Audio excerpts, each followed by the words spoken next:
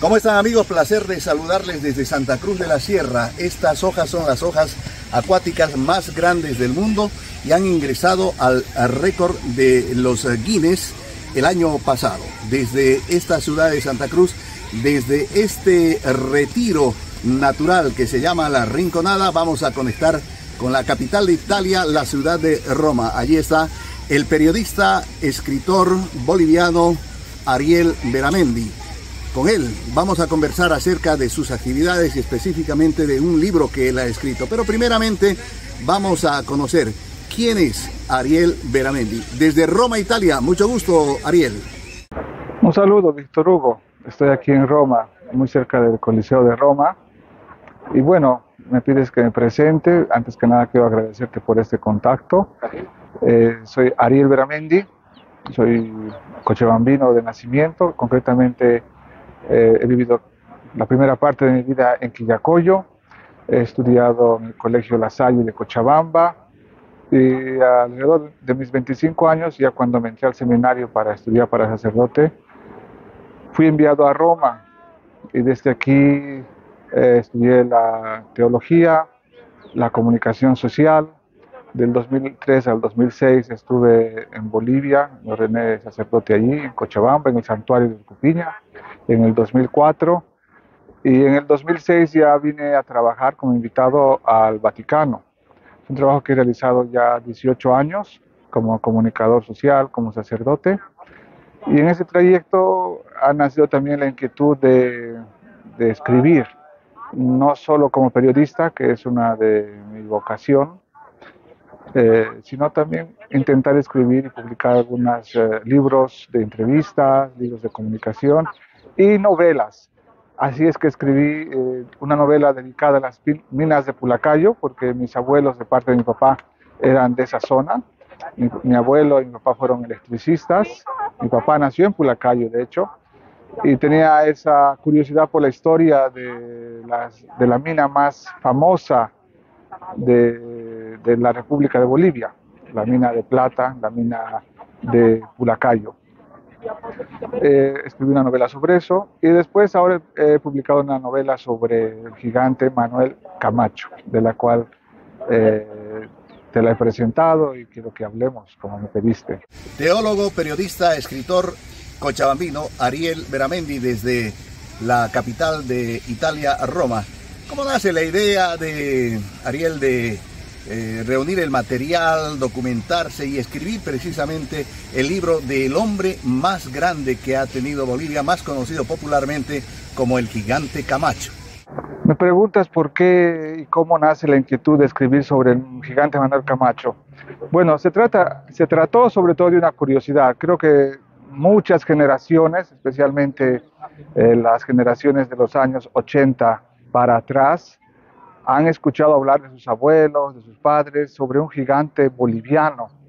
La figura de Manuel Camacho no estaba clara para mí si era solamente una historia, una leyenda, eh, si había visto alguna foto y demás. Y con las redes sociales empecé a ver algunos comentarios, eh, algunas otras fotos que me indicaban que, bueno, existía este gigante Camacho, que mi abuela también me había contado sobre él, cuando lo había conocido de niña, lo había visto. Y bueno, sucedió que a través de las redes sociales pude contactar con un pariente directo, porque después hay tanta gente que es Camacho en Cochabamba, por ejemplo en Jaihualco hay mucho familiar de él, pero contacté con el hijo de un hijo, es decir, con un nieto del gigante Manuel, del gigante Manuel Camacho. Y a través del tiempo pues entramos en contacto eh, y le pregunté si yo podía eh, entrar eh, en contacto, hablar con su, con su papá. Eh, y bueno, pasó mucho tiempo hasta que me permitieron, se juntaron varias cosas. Ellos estaban de acuerdo en recibirme para una entrevista. Yo estaba viajando a Sudamérica desde Italia y así fue que pude hablar con Walter, el último hijo del gigante Camacho. Él ya estaba bastante mayor, había perdido la vista por, eh, por el tema de la, de la, salud, de la diabetes, eh, pero pude hablar con él, también pude hablar con su hija, con la hija de Manuel Camacho. Me enteré que tuvo cuatro, cuatro hijos. En la búsqueda de información que yo había hecho, encontré una entrevista de uno de los cuatro hijos que había vuelto a Cochabamba, el único hijo de Manuel Camacho, del gigante Camacho que había vuelto a Cochabamba. Los otros nunca volvieron. Y cuando fui a la Argentina, pues me enteré de, de muchas cosas. Me enteré que muchas, se había escrito muchas leyendas sobre él.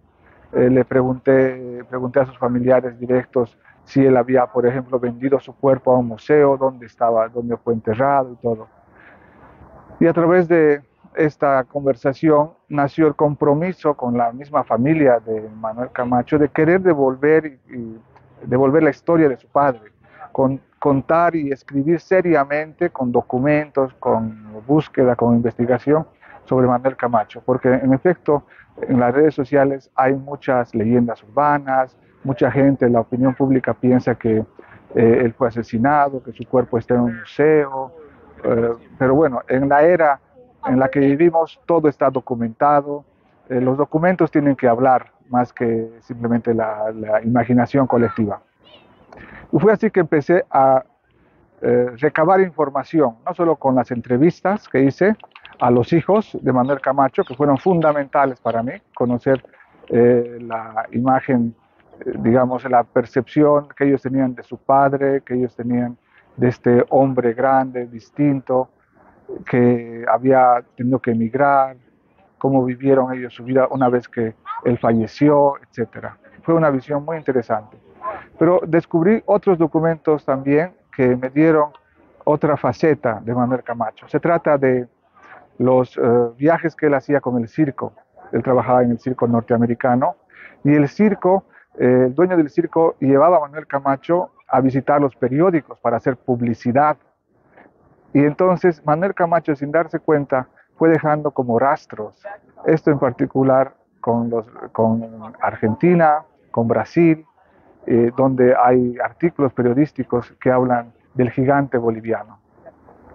Recobré, recogí esos datos, encontré algunas otras fotos, me ayudaron a entender de que Manuel Camacho eh, trabajaba duramente y sus hijos me dijeron que eh, su gran sueño de Manuel Camacho, de este gigante boliviano, era pues regresar a Cochabamba, construirse una casa en Jaihuayco y vivir ahí con su familia.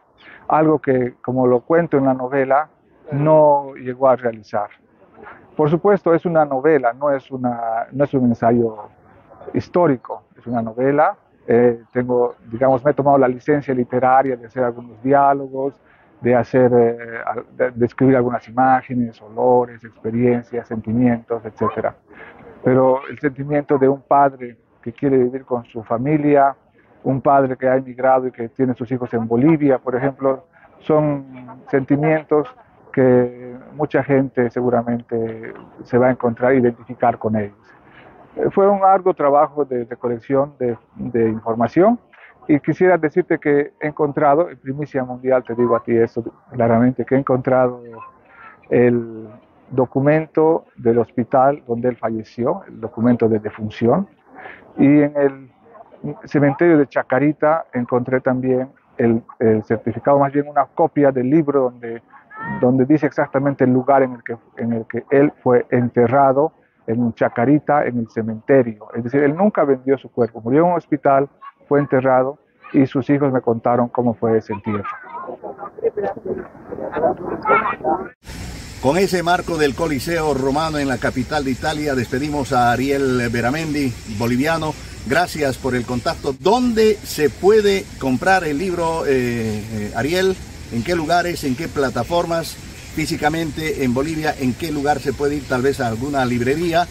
Eh, escuchamos todo esto y te invitamos a despedirte de Bolivianos por el Mundo y la gente que sigue nuestras redes en el planeta Tierra. Eh, ¿que ¿Dónde pueden encontrar el libro? Bueno, Víctor Hugo, antes que nada una vez más te agradezco por este contacto aquí desde Roma para todos los bolivianos por el mundo, en esta tu página en la que eres tan activo, que vas creando una red muy interesante de compatriotas. Bueno, pues el libro, eh, para los que están fuera de Bolivia, para los bolivianos por el mundo, lo pueden encontrar en papel, en Amazon. Es una muy buena calidad de publicación en papel y también en digital, siempre en, en Amazon, como basta poner Nostalgias de un gigante boliviano.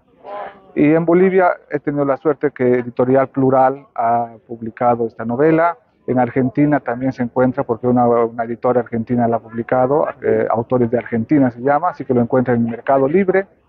Y bueno, les invito pues a que puedan también conocer esta historia que, va mm, recobrando, recuperando la memoria histórica de Manuel Camacho, un personaje muy querido en Bolivia, que quizás la leyenda lo ha ido sepultando y un poquito también el olvido de las nuevas generaciones.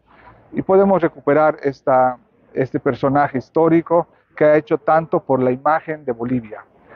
Eh, desde Roma quiero saludarles, aprovechar que estamos todavía en los primeros días del año 2024 para desearles que este año sea un año de serenidad, de éxito y que consigan todos ustedes eh, sus proyectos, los alcancen con la bendición de Dios. Muchas gracias por esta conexión que me permite saludarles desde Roma. Hasta la próxima, en cualquier lugar del mundo.